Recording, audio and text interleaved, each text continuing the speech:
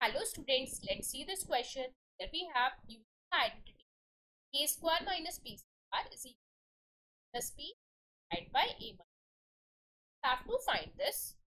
तो ये हमारा a हो गया ये हमारा इसके इक्वल हो जाएगा a plus B fourteen point three five point seven bracket में fourteen point three minus five point seven plus B minus है ना यहाँ पर बेटा हमें यहाँ पर क्या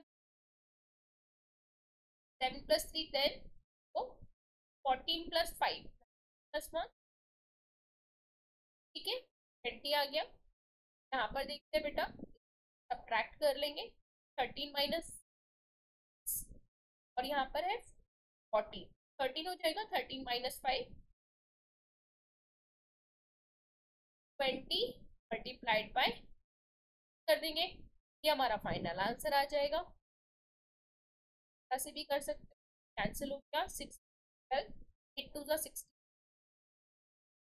one seventy I hope this question is to you thank you.